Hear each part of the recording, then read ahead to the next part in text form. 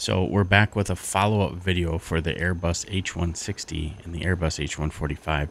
We're going to be talking about follow-up trim settings and how trim release behaves in each of those different situations.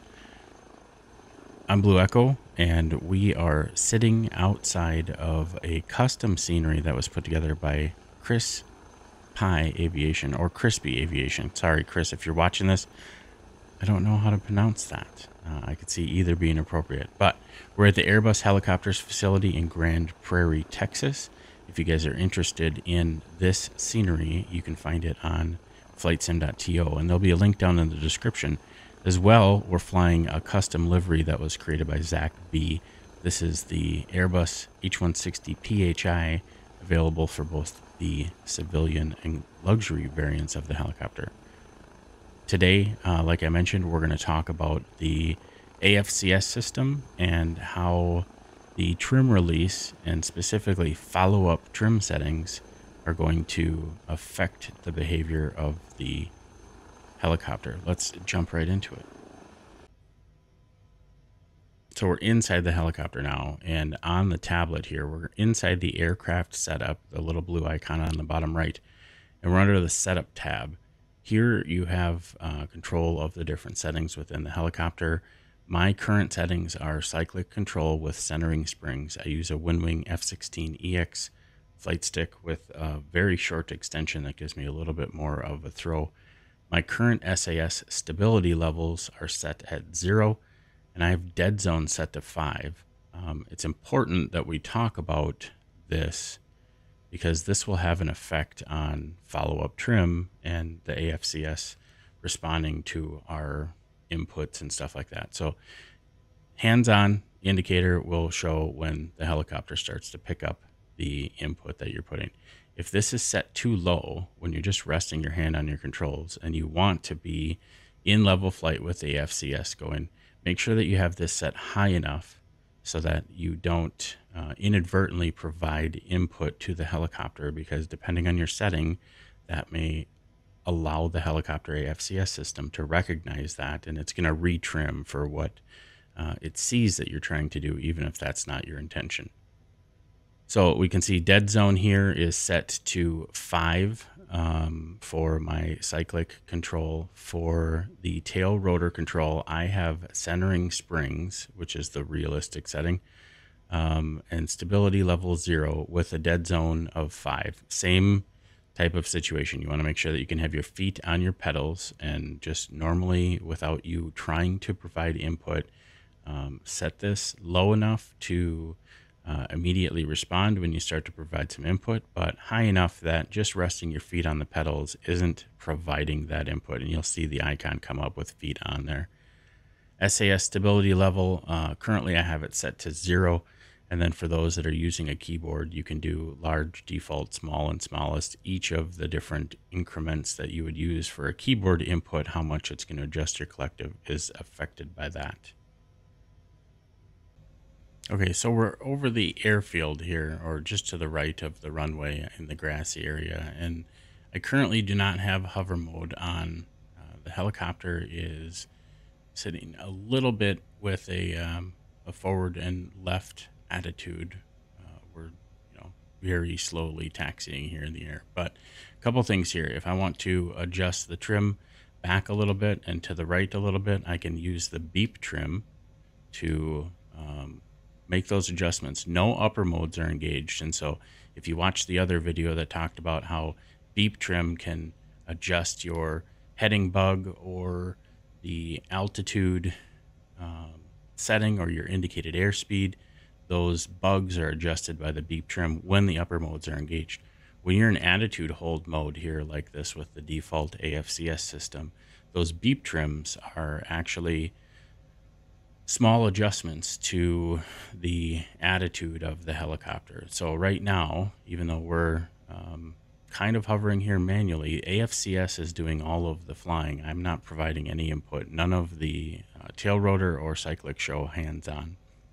And this is where we're going to talk a little bit about what follow-up trim does. So when you want to, um, you know, provide that input, you would normally have to press trim release. And there are four different settings. You have follow up trim off, follow up trim hover, follow up trim cruise, and follow up trim both. You can see these on the tablet here uh, in the, I guess, fourth line down on the settings. Hover is currently um, is currently indicated. So to briefly explain what those are, off means that any input to the helicopter that I want to make to this attitude, I have to press trim release to have that attitude reset with the AFCS. Any input, I'm going to switch to off right now.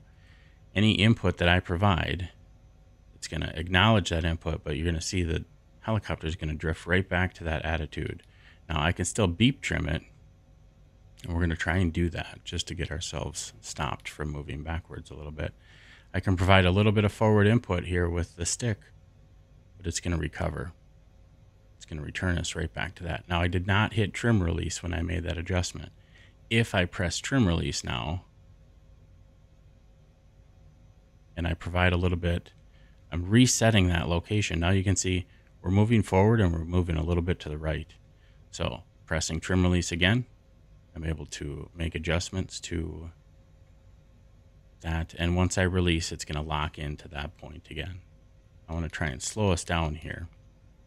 So off means you need trim release for the attitude to be adjusted by your inputs, regardless of whether you're in hover or cruise. Now we'll switch this over to hover mode before I had to press trim release to have the helicopter see any of my inputs. Now in hover mode, as long as I'm traveling less than 30 knots, which I don't think we actually are, we're traveling 35 knots. So let me slow down here. We just saw that transition into it. Right now, that attitude, when I pull back a little bit, that nose up attitude is going to lock in place. I did not press trim release there. So as long as I'm traveling under 30 knots, I do not need to press trim release to have my input acknowledged and have that move the trim for the attitude adjustment into place. So hover, as long as you're under 30 knots, if you provide that manual stick deflection, it's going to move the attitude hold to that new spot. It's basically going to trim the helicopter to match where you hold the cyclic. Hover is the default realistic setting that matches the helicopter. All right, cruise, it's the same concept, except instead of allowing that input when you're under 30 knots to reset that new trim position for attitude hold. When you're under 30 knots, it's going to ignore it. You need to press and hold trim release for it to reset the attitude when you're in cruise mode. Now, if I was cruising at over 30 knots, I was a, I would be able to provide stick deflection and have it assume that new attitude. It's going to be the new trim point. You can see just see it snap back there. Let's provide some trim input. I'm going to give us some more collective. We're going to climb up here a little bit and we'll start cruising. Because I think this cruise, once you see this demonstrated and you see, um, you would have seen both hover and cruise together, it will make sense.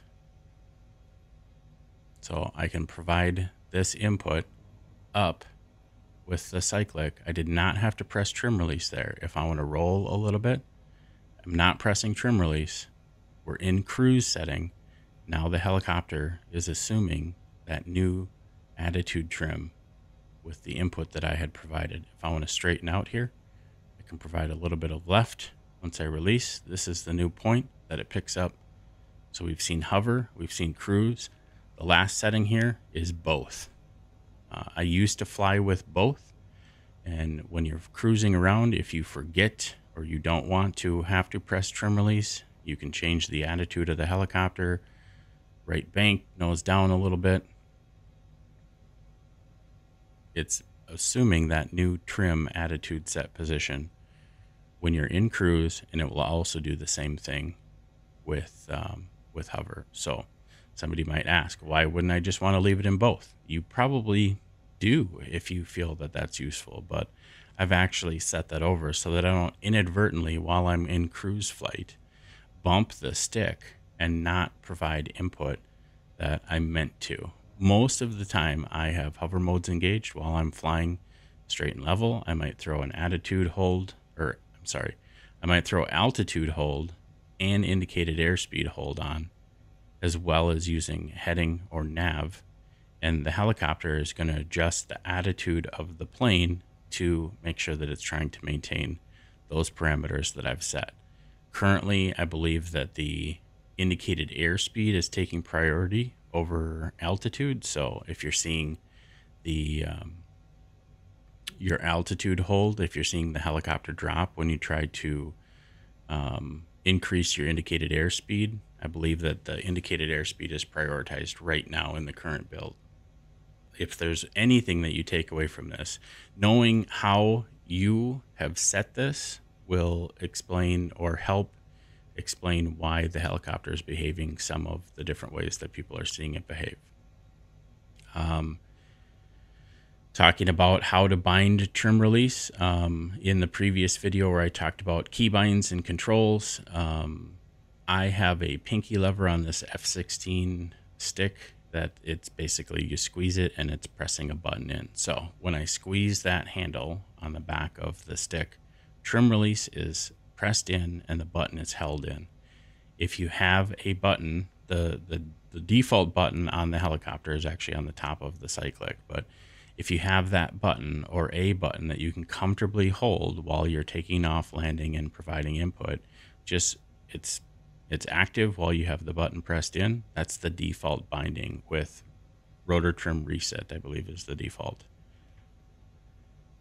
There are also two other options for people that might want to um, set something up a little bit different. The first example would be if you needed to bind trim release to a switch. So, you know, binary, one one flip of the switch is on, one flip of the switch is off. Some people have setups where that's the, the best that they can do. Um, and there's a set of key binds for those. I'm going to put them in a little graphic on the bottom. So you'll see a little lower third pop up with the graphic for the, the default keybind there. And then the other one is a latching keybind. So you press it, it latches it on. You press it, it flips it the other way and latches it off and that would be if you have a button that you want to say, I'm turning off trim release, and then you press the button again to turn it back on. It's a latching, you know, either one, but most people, and by default, they'll find a button that they're okay uh, holding for trim release. So press it, it's engaged. Now I can provide this input.